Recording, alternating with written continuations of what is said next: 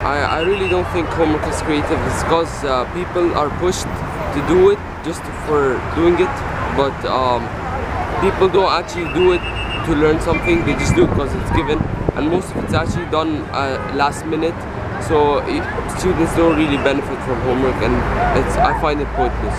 No, I first of all, I don't think so, especially in this school. Uh, we don't really have too much homeworks, and the homeworks itself it's creative, and uh, they really enjoy it, and it's not much. No, they still have a lot of time to have other activities in their life, and yeah, it's not too much. It's uh, exactly how much they really need. Yes, I, I think they have they need to have homework a little bit. They need a little bit of discipline also at home. So I think it's good. It's just a little bit after school, it's fine. depending on the kind of homework like especially the homework that's uh, given here is it, it enhances creativity rather than uh, keep children away from it. So um, in, in my opinion it is not. It's, it, uh, it makes them research and uh, look into things that they normally wouldn't if it if it wasn't due or given with a deadline